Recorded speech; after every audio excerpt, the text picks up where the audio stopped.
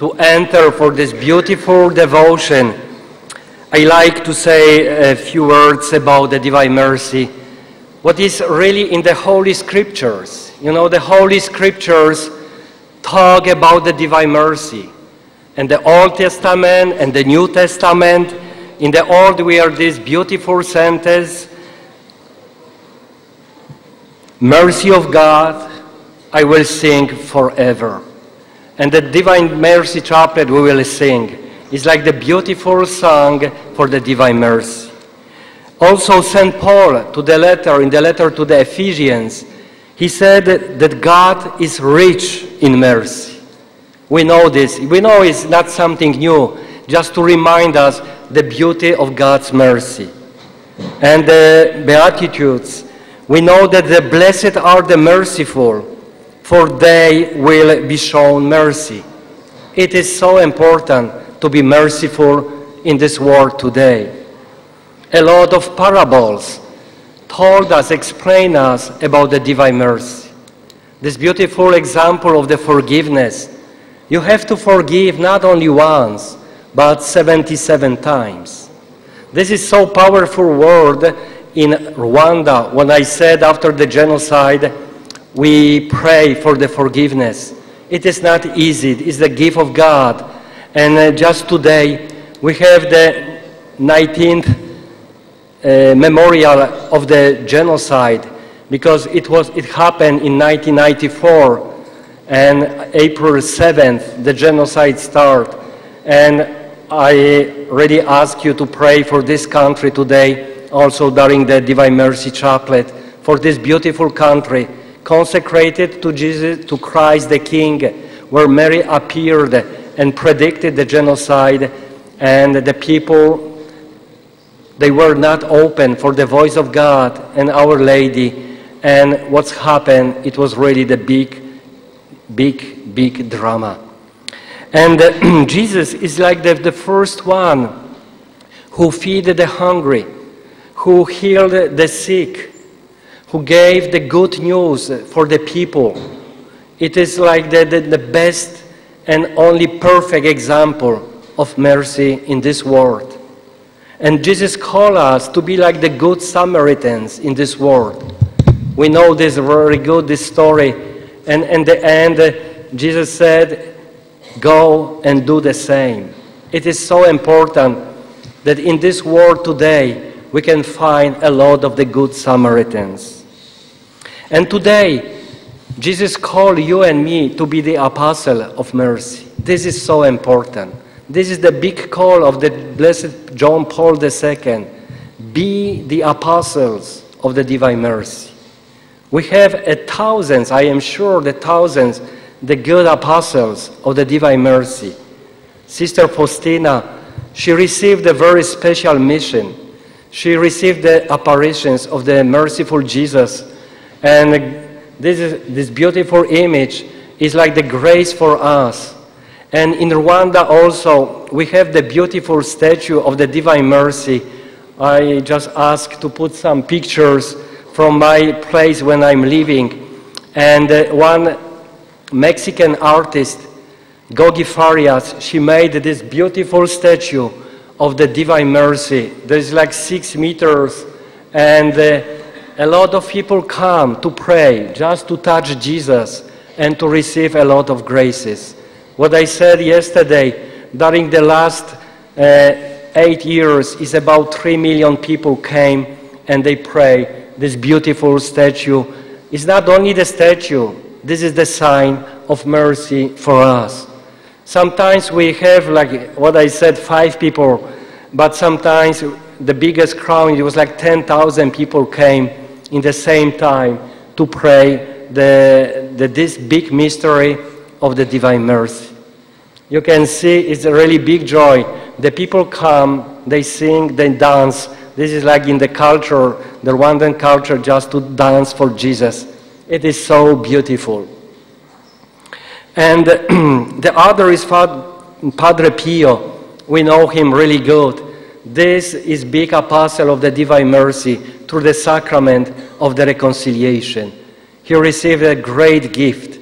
He is like the someone today also he's like the living. He passed for the new life, but he's still on the earth, and, and through him we receive so many beautiful graces. The Mother Teresa of Calcutta, we, we, we had this beautiful witness, and uh, Susan will talk a little more today about this beautiful woman. She is like the living relics of mercy of God, not only in the words, but in really in the deeds.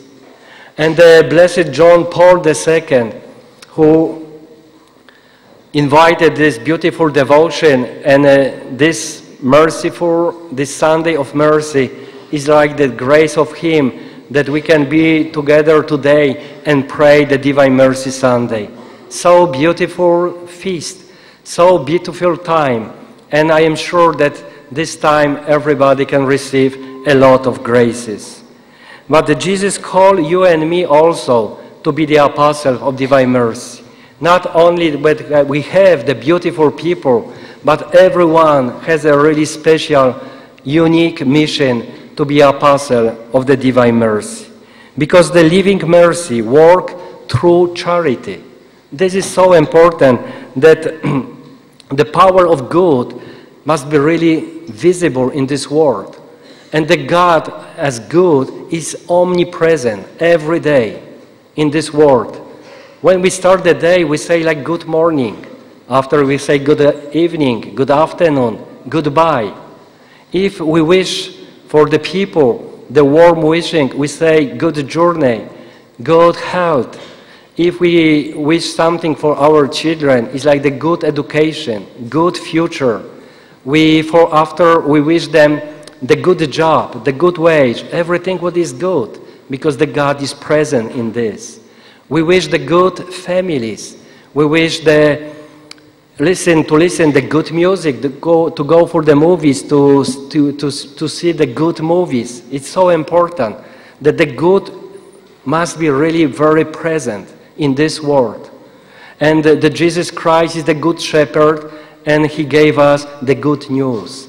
We can say a lot of things about the good, because usually when you open the news, it's like the bad news.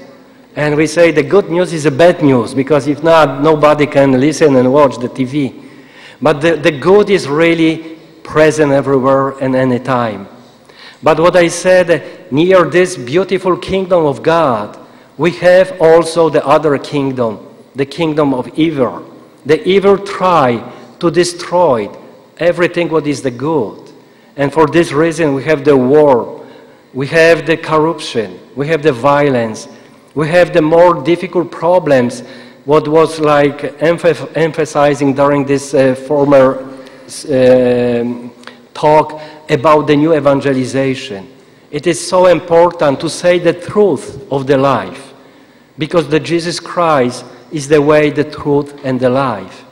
It is so important to live with the good, the daily life, to be stronger than evil. And what I said also yesterday, the evil is never victorious. The, the smallest grace of God is stronger than every power of evil. Because the Jesus Christ, through his death and resurrection, he destroyed sin, he destroyed the death, and he is the new life for us. And the good is really present in this world. Let us pray today for different petitions for us to be the worker, the charity workers. This is uh, like the wish of the Benedict XVI.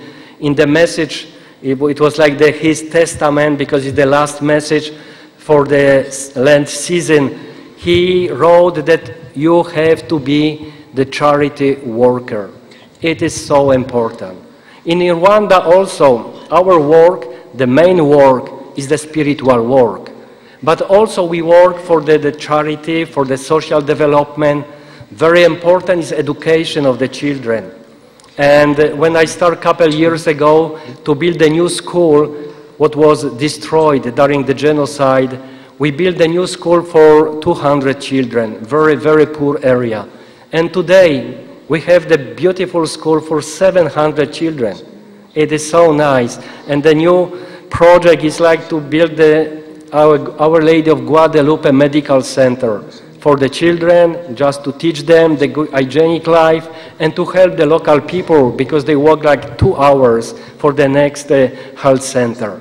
It is so important, education, you know, the first step for the new future.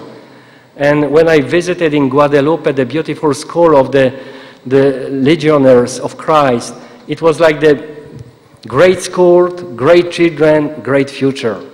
This is so nice. And I try to build the same beautiful school for the children in our area.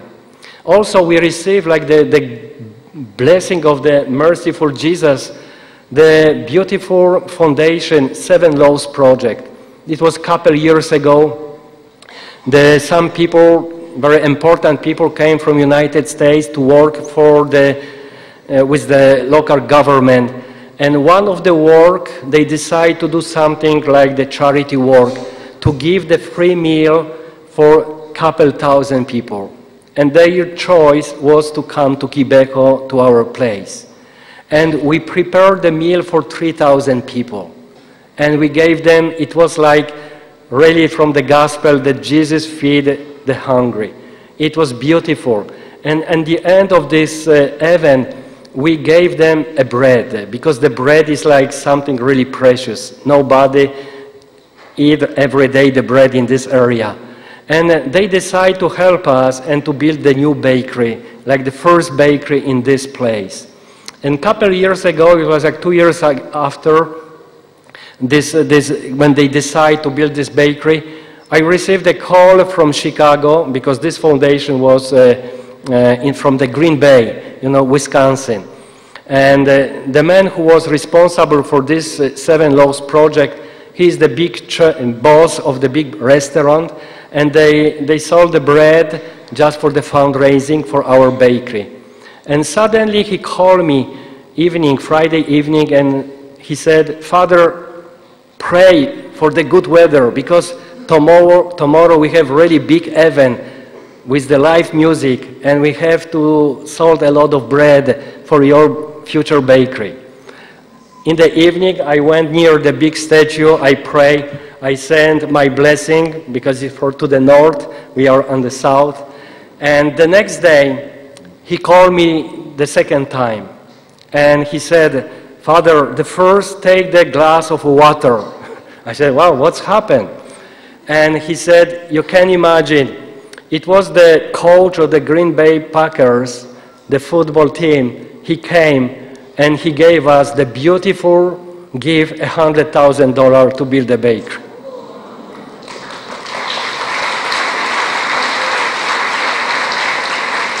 It was the, the biggest miracle for me of the Divine Mercy. And in few months after we built the bakery, and we have the, the first bakery in our area, and more. You know, from this bakery, four times per week, we give the, for free the bread for the school. The children, they received, the last year in January, they received the first time, and like 90% of the children, they eat the first time in their life the bread. And now today, four times per week, they receive two small roll of the bread every day. This is also the big blessing and the gift of the divine mercy. If you believe, if you pray, you will receive a lot of blessings. And for this reason, we have that just 10 minutes. We can prepare ourselves and just to pray during this beautiful rose chaplet of the Divine Mercy. Because Sister Faustina, in the diary, diary is really beautiful book. And if you have the chance to buy the diary, please buy this beautiful book because she said in, uh, Jesus said to her, through the chaplet you will obtain everything if what you ask for will be compatible with my will. It's important. We can ask a lot of things, but the first, the most important is, is uh, look for the will of God. You know, if the will of God is the same, the Mother Teresa uh, of Calcutta, she said, the small v and the equal with W, with my will, this is the perfection. If the V, the, the, the, the will of God, is the same like the will of God, because I, this is in French, oh, sorry. The small w with the big W is the same. The will of God and my will is the equal, this is the perfection. And uh, we, we have to pray that the just, just this sign of the equal between small w and the big W will be the same. It's so important. And uh, the, uh, in other place, Jesus said, by this novena of chaplets, before the feast of mercy, I will grant every possible grace to souls. And finally, even if a sinner were most hardened, if only once, he will recite this chaplet, he will obtain grace from my infinite mercy. The beautiful promises and the promises of Jesus Christ, they are really true and powerful. The love of God is so important.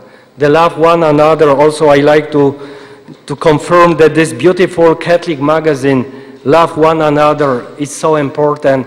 And you can find this, uh, just there is the stand you can take for free, like the, just the announcement of the magazine is so beautiful.